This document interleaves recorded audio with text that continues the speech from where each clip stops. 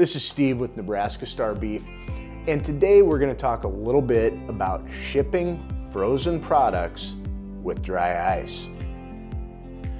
So, we get quite a few questions about shipping our products and how do we use standard shipping, be it FedEx or UPS, whichever carrier, and use standard shipping and deliver frozen products all across the United States while keeping those products frozen?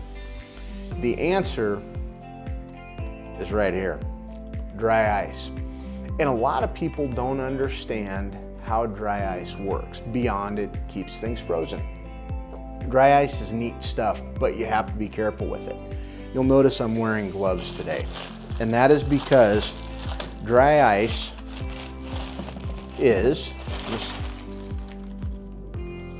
frozen carbon dioxide.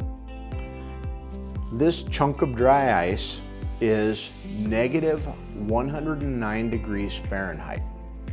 Another cool thing about dry ice, you can see, oh yeah, yep, right down here. You can see the steam coming off the dry ice. Well, that's not steam, that's carbon dioxide. And dry ice is unique in that instead of melting like regular ice, ice made of water, dry ice sublimates, which means it goes from a solid to a gas and it skips the liquid process altogether. That's where it gets the name dry ice, is it doesn't make a mess when it melts. And that's one of the reasons that we use dry ice. One of the other reasons that we use dry ice is because it is very, very efficient. There is a lot of cold energy in this. This is probably a seven pound block of dry ice. This seven pound block of dry ice will, properly packaged, keep steaks in this cooler frozen easily for five days. Now the keys to getting the most out of dry ice is making sure that there's not a lot of excessive space in the cooler.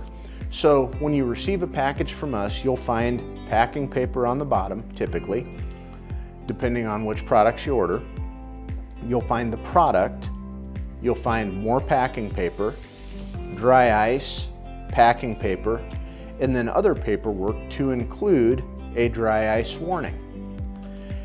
Now, when you receive your order, there's a very good chance that this dry ice has completely sublimated.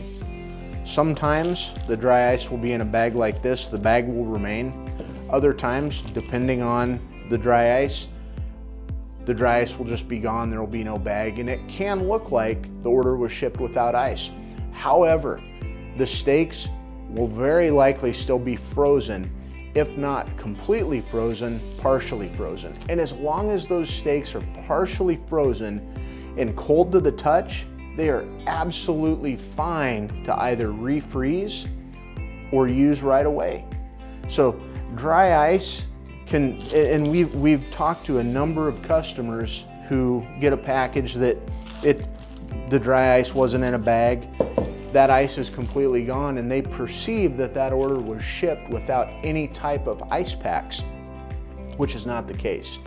It's simply a case of the dry ice doing what it naturally does over time, sublimating and simply disappearing. So anyway, that's a little more on shipping frozen products with dry ice. Hope you found that informative. If you didn't know that dry ice was a really cool product that uh, that skips the whole liquid part of its existence, now you know.